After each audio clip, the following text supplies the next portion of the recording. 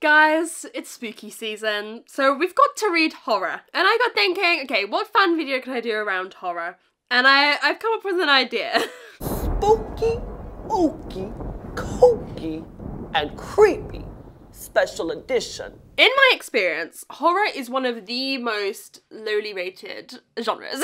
People are quite picky with their horror, they tend to rate it quite low, and so I thought it'd be interesting to read the lowest rated horror on my TBR and the highest rated horror on my TBR and see how much they differ in quality. I feel like horror is an interesting one because it can kind of be rated low, not because a book is necessarily bad, but because people just don't understand the vibe. So I have found my lowest rated and my highest rated, and we're going to be reading them both in this vlog and seeing are they really that far apart. Let me tell you right now, there's almost a whole star rating of difference which is quite a lot between these two books. That's quite dramatic. So I'm interested to see what the difference is. So our first book is Pine by Francine Toon. I think this is a bit of like a thriller horror hybrid, but its primary genre is horror. On the best it says a pacey horror tinged novel. Horror tinged. but this one we're following these two characters who live in the Scottish Highlands and they stumble across a woman on a road one night and in the morning she's gone. It's about this community, this strange like insular community in a place that feels like the end of the world,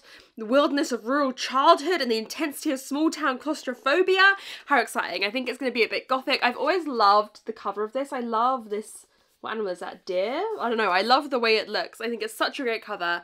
And this is now pretty old. It's one of the oldest books on my TBR. So this has a 3.39 average rating, which is pretty low, you know, for something, for example, for to set a baseline in order to be nominated for the Goodreads Choice Awards, which is on my brain a lot at the moment. we don't need to talk about that. A book has to have above a 3.5. So 3.39, I would say, is lower. 3.1, 3.2, 3.3 is all kind of lower average ratings. And then our highest average rating, you guys, I'm so excited! is Slewfoot by Brom. This has a 4.33 average rating. So like I said, almost a whole star rating of difference, which is quite drastic. And this is the highest rated by quite a while, I think, on my TBR. I've told you guys about this a lot. We're following a demon called Slewfoot. This is set in 1666, aka 666 It's devil season. and I think this is gonna be witchy, it's gonna be dark, really dark. I want it to get dark. I want it to get really dark. I think this is going to be immaculate vibes. I'm really, really excited. So these are the two books we're going to be reading. I'm very excited. I think I'm going to start with Pine because I think it would be unfair to start to read this first and then to always compare this to this. I want to see how I how I feel about Pine in its own right because this is like a five star prediction. I mean, I got to stop saying things are five star predictions because every time I say that they get two stars. So like, shut up, Megan. but I'm gonna start with Pine. I'll check in with you once I'm a little bit of the way through it. But I'm hoping I'm still gonna enjoy this even if it is lowly rated. I wonder what the reasons for rating it low are, but I'm excited to get into some horror.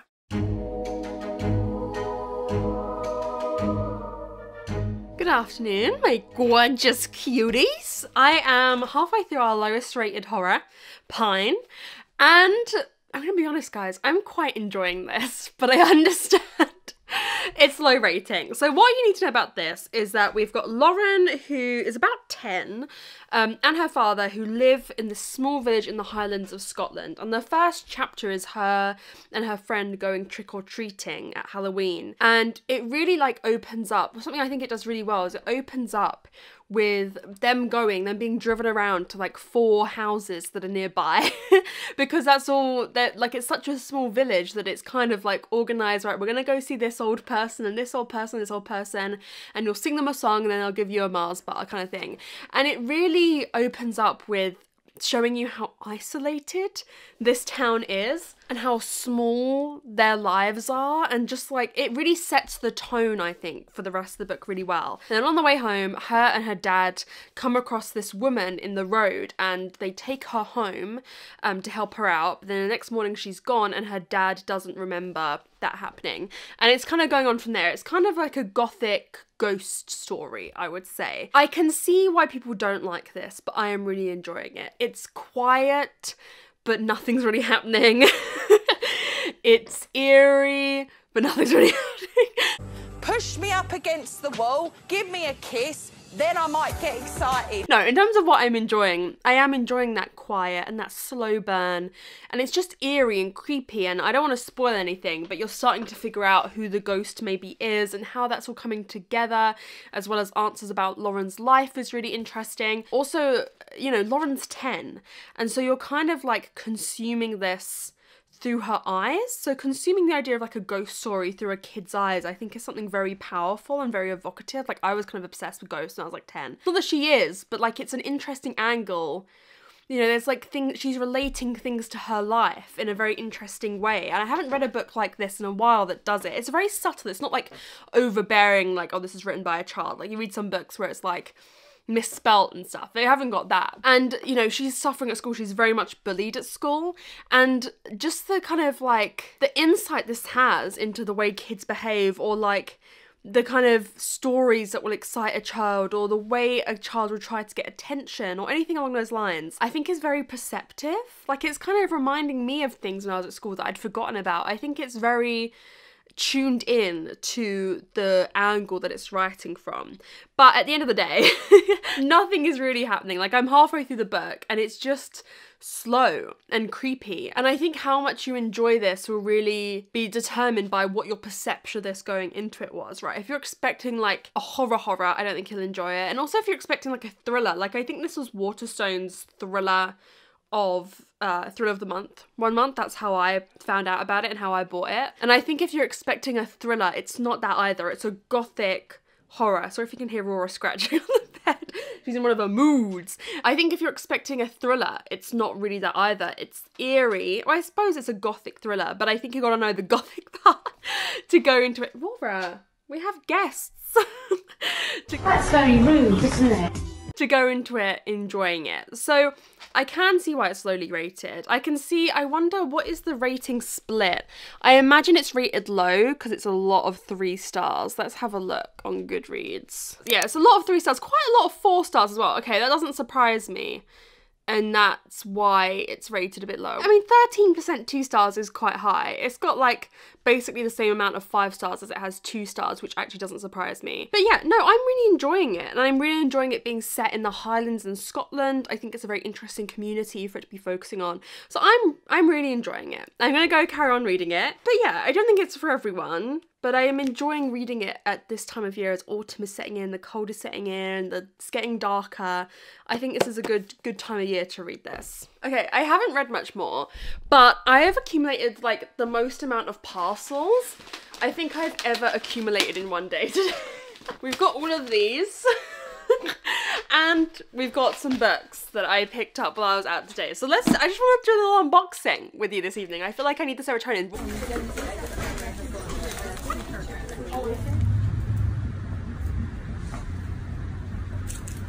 So some of these are book orders, and some of them, we'll start with the ones I know are book orders.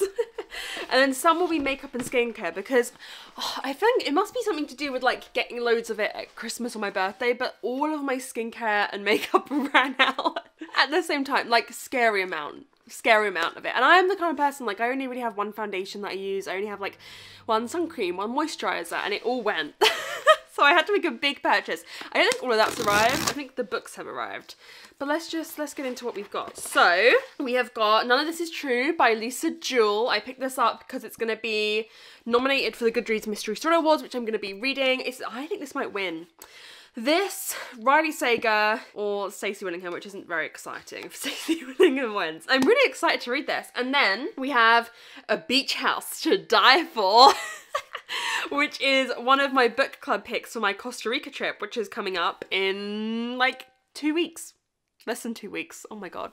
it hasn't really sunk in. I can't I can't really believe it's happening. It still doesn't feel real. So yeah, this is one of our book club picks. Nice and short. Um we've got like a more serious book, which I think will be in one of these other boxes. But this is a more of a our fun book, our fun cozy mystery with a cat with a knife. so I'm excited to chat about that with everyone. I'll probably read that whilst we're in Costa Rica as well. And then I have also got An Elderly Lady Must Not Be Crossed by Helene Tursten. This is a sequel to An Elderly Lady's Up to No Good, and I got this because maybe I'll be finishing this series soon. It's like tiny. Look how small this book is. It's like the smallest book ever. Yeah, the first, I really liked the first one. Um, I have heard this second one isn't as good but I mean, we'll see. Now this I think is just my bookmarks that I ordered so that I'd get free shipping. I've already spent the same amount of money that I would have done had I not had free shipping, but I got some bookmarks out of it. You're so clever.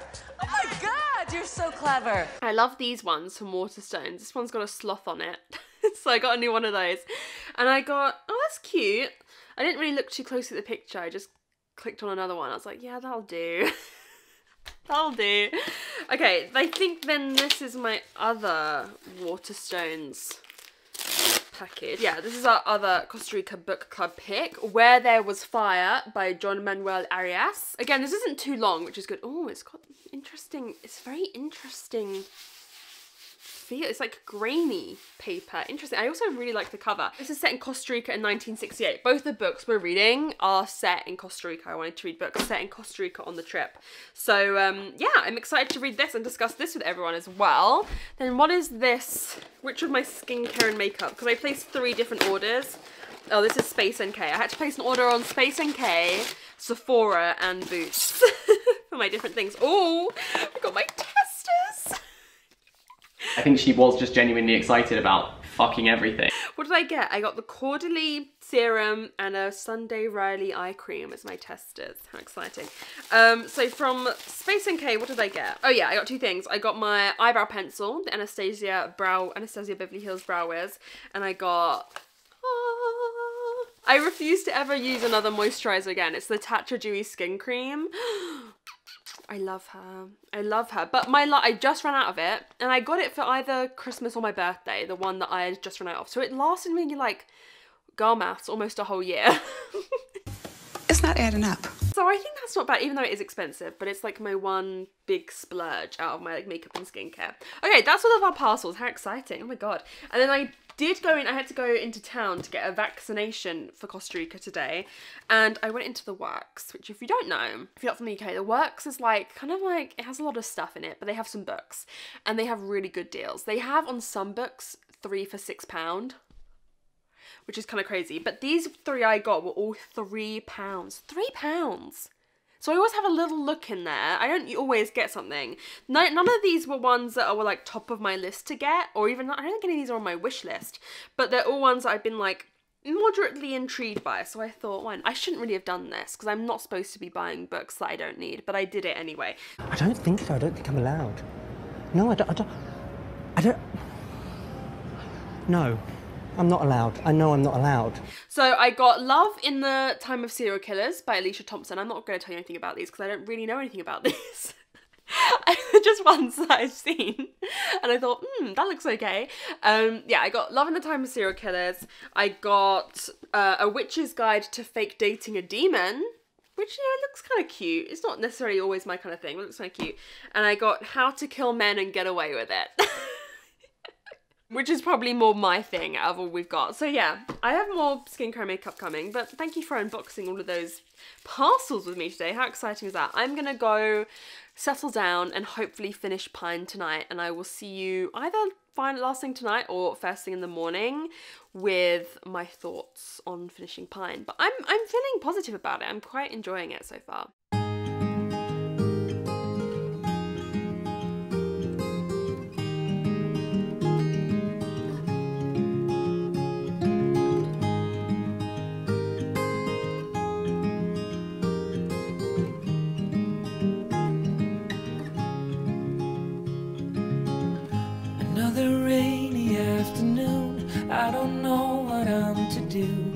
Just miss you more than anything. It's way too quiet in the house. I'm just wasted on the couch. Guess I don't wanna feel anything. Wish you'd stay. Stayed here beside me. This isn't how it's supposed to be. Wish you'd stay.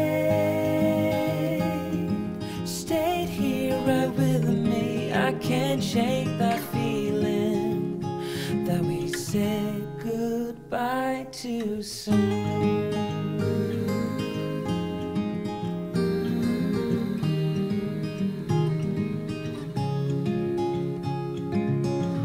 I know the hour's getting late. I shouldn't sit here contemplating. I just can't stop thinking about us. I won't forget a single thing drunken nights to Sunday mornings and how you smiled at me. Wish you'd stay, stayed here beside me. This isn't how it's supposed to be. Wish you'd stay, stayed here right with me. I can't. Okie dokie, I finished Pine this morning. This is a tricky one. My mum just sneezed so loud. My mum, when she sneezes, she goes, Joe! Anyways, I finished Pine. This is a tricky one because I stayed up till like midnight reading this last night. Granted, I was reading it slowly with the audiobooks. I wasn't reading physically, I was like playing games on my phone whilst I listened to the audiobook. But it reaches a point in the second half of this where there is a mystery element. I feel like I've got cat hair on my face. this is not going well. There reaches a point in the middle where there's like a mystery element to it and you're trying to figure out basically a character that not that a character that you care about deeply but maybe a character where if they were to have done something bad it would have extreme ramifications for those that you do care about deeply in the book you think they've done something bad and so I can't even film for a minute without like five interruptions I have been pushed to the limit with this. Yeah so that does happen and, you really think like oh god like this is gonna go in a certain direction and like i really wanted to find out what the truth was and i could not stop reading it. However by the end i do understand why this has such a low rating because you kind of read it and you go what was the point of all of that you know, I'm giving it a 3.5. I really enjoyed elements of it, but I, it does feel a little bit not like there's a lack of resolution at the end because everything is kind of tied up. You have answers for everything, but you kind of feel like, is that enough for a book? You know, I think this could have been stronger as a novella. I think if you cut 100 pages of this, I don't know, but then again, I don't know. I don't know. It does. It does bulk out what it's doing well like how with how well we get to know characters and kind of spend this slow quiet time like delving into their psyche and delving into the town. But i think it either needed to be longer or shorter right? I think it either skimmed on a few bits like a few characters like a few of the older girl the teenage girls that she knew. I feel like we could have known a bit more about them or we needed to scale back the book. I feel like it kind of wasn't quite there. But it is a debut, and I feel like the atmosphere of it that is impeccable. You know, the gothic, isolated nature in the Scottish Highlands. I could envision everything so well. It was such a different culture and a different kind of lifestyle than I'd read about before. So I think there's a lot of pros about it. I don't think it deserves to be the lowest rated horror. I've read worse. I don't think it's there's a case. Sometimes horror that's like a bit experimental can be lowly rated. That isn't the case with this. It's that I think it is a debut that kind of is still working out some of the kinks of like structuring a story but for me there's a lot of pros to this. It maybe is even more of like a 3.75 but i'm gonna call it a 3.5 but it's a very interesting it's a it's a different bit of a different story right? Your relationship to the characters is a bit different. Your relationship to the understanding of the plot is a bit different. But i did enjoy it. So we're now gonna start Slewfoot by Brom next. I'm gonna go ahead and read some now. I'll check in with you. Maybe when i'm like 100 pages in. I'm hoping for great things from this. I'm pretty sure i put this on my five star predictions um earlier this year, so no pressure. I don't mean to make her nervous. That much. By the way, all my other parcels have just arrived, so I thought let's just like unbox them together because apparently this has become an unboxing video. I got a parcel that I wasn't expecting, but I think it's the second half of another parcel that I got earlier, which I don't think I've shown you yet. I've been meaning to show Yes, okay, so this is the first Murdle, which is like murder mystery logic puzzles. Can you see? It's like one of these. They sent me a couple days ago, or maybe like a week or so now. Second one in this like, how cool is this? And like an evidence bag, um, with like a pencil and like a book, a special bookmark. How cool! So this is the second one.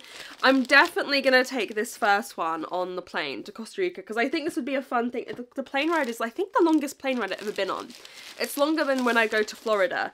So I think it's like 12 and a half hours. That's the second one as well. So I thank you so much to the publisher for sending me these. How cool. I'm just keeping it in its little evidence bag like forever because I think it's so cool, a fun imaginative way of sending stuff over. But yeah, and I think they get a bit more difficult as it goes on, like they ramp up in difficulty.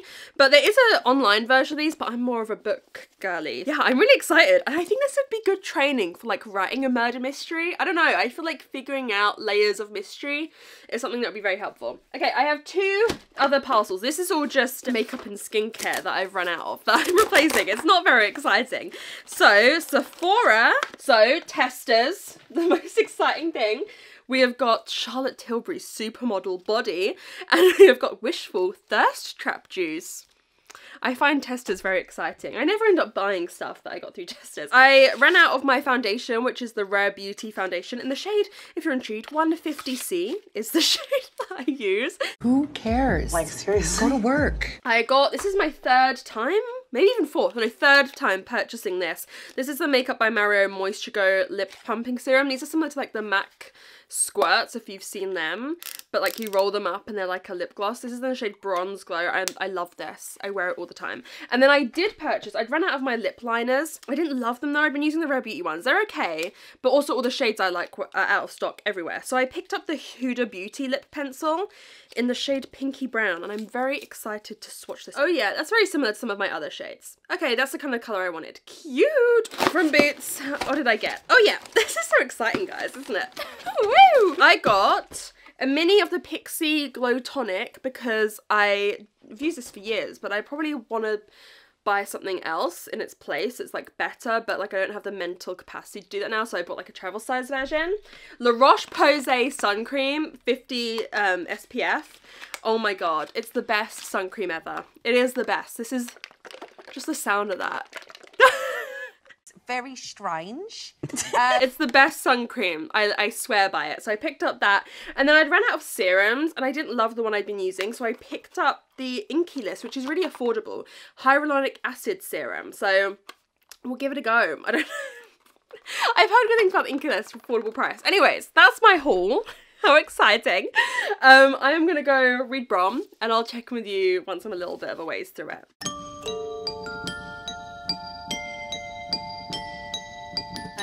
I just got way too cozy in bed, so I'm not I'm not taking the hoodie off, okay? I'm activating cozy mode. I'm 100 pages into Slewfoot by Brom, and it's been a pretty easy, like 100 pages. I was worried because the book is so tall, um, and you know, it's like there's quite a lot going on on a page that it would take me a long time to read it, but I'm reading it pretty quickly.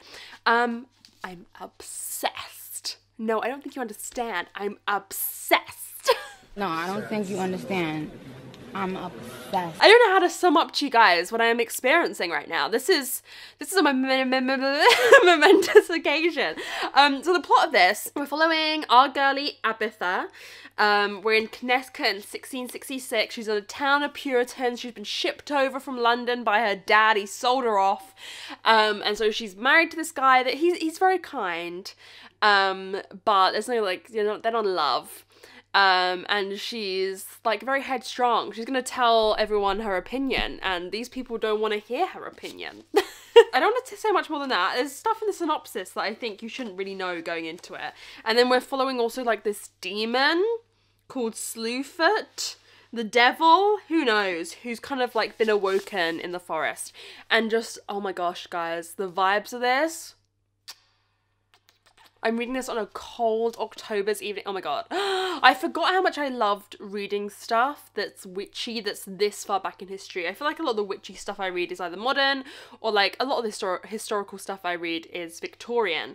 But I haven't read something this far back in history for like a long time and I'm really enjoying it. I'm loving it. I think I used to read a lot of witchy stuff set in this time period when I was younger and I just haven't in a long time and so it feels nostalgic. The writing is so good. The writing is so good. I'm sorry, I was just checking how long I had left on my on my SD card. The writing's impeccable. Like I am just eating up every element of this. It is gory. Like there's some gory scenes to do with death and shit that I'm like but it's giving me exactly what I want for like a witchy, devilly book set in this time period with the characters that are in it, the plot machinations that are happening, and I'm just excited for it to like we're only at the beginning, you know, we're only in the first third.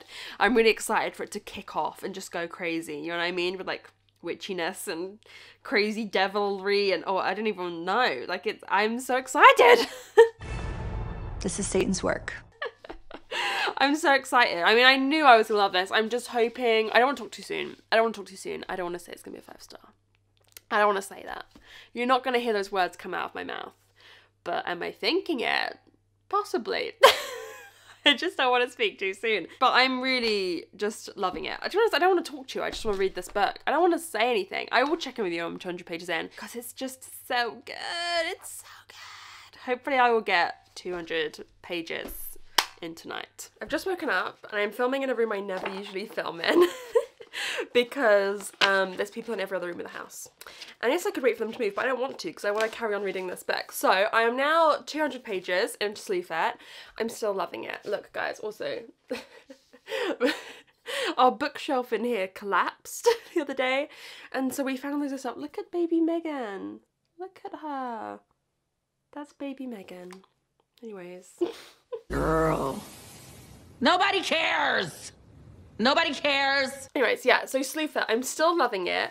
I can see why this is so highly rated, right? Such a highly rated horror because it's doing something different, right? I can't think of a book really like it that I have read. And for me, I feel like that's really what is determining what I give five stars nowadays. Like a five star has to have a innovative element to it nowadays for me. It has to be kind of like the first at doing something or is doing something in an interesting way. A solid murder mystery that just doesn't do anything new but is good is only going to get a four star for me. Do you know what I mean? Like I really enjoy it, but if it's not surprising me, and like listen, it doesn't have to be new to surprise me. For example, like I, if I had read Murder on the Orient Express for the first time today, I would still give that a five star. You know, but I'm feeling like this gonna be a five star. There's something about the writing, I think the way it's written, like the writing style that feels very nostalgic. It's embodying the period so well because it feels like the way we used to tell stories. I love anything that plays with the art of storytelling. Um, Nghi Vo's novellas do this a lot, I can think of. The, um, the ones with Cleric Chih. They kind of like the whole series is about honoring the art of storytelling and the different ways that stories can be told. And I feel like there's something very nostalgic about the way that this is written. So yeah, I'm still loving it. I don't really have any other, many other thoughts for you right now. I just want to go finish it really. So I will see you when I've finished it. But, but yeah, I'm really, really enjoying it and so glad that I'm finally getting around to reading it. I'm intrigued as to what's going to happen in these last hundred pages. I feel like it could go a bit crazy. I don't know if I'm ready for that. I kind of want it to go a bit crazy. I don't know. I want to be shocked in these last 100 pages. So guys, it's a five star. Success! I loved it. I love the direction this went in. It kind of went in the direction that I was hoping that it would go in. And honestly, I always say I support women's rights and I support women's wrongs. okay? I will always be in defense of women's rights and women's wrongs. No. I don't believe in the glorification of murder. I do believe in the empowerment of women. No, I loved this and I can see why it is so highly rated. It's a very special, unique book. If you guys own this, this is a perfect time to read it. This is a perfect time to read it. Like now, right this second is the perfect time to read it. I'm so glad this was my like Halloweeny book around this time of year because I loved it. Also, it's a very quick read. I feel like when I looked up the audiobook, it was quite long, but actually physically reading this, I sped through it. Like my eyes were moving at the speed of light. I couldn't stop reading it. So it's a very easily readable book. But like I said, I love the style that it was written in. I love the pagan versus Puritan kind of conflict that is happening throughout the book. I feel like the pacing was perfect. I feel like the plot flowed at the perfect pace. I loved it. I loved it. And I need to obviously read more Brom because I've never read anything by Brom. I've seen stuff before. I think there's like a Peter Pan retelling, I feel like. But um, I'm really intrigued in reading more stuff by Brom. Listen, the hype is legit around this book. I got another five star. Yes, I know. It's like a momentous occasion. and yeah, I can see why this is so highly rated. It deserves it. I don't feel like I have much more to say to you because I don't want to spoil anything. Like, I kind of think this is a fun book to go into not really knowing anything. But I loved it. It was a five star. so there we have it. That was my little experiment reading the lowest rated and highest rated horror on my TBR. Listen, I don't think Pine was bad. I gave it a 3.5, but I can see why it is a whole star rating lower than this majesty over here. Um, let me know what you thought of either of these books. If you've read them, if you got into the end, comment a ghosty emoji. And I'll see you guys soon in another video. Bye!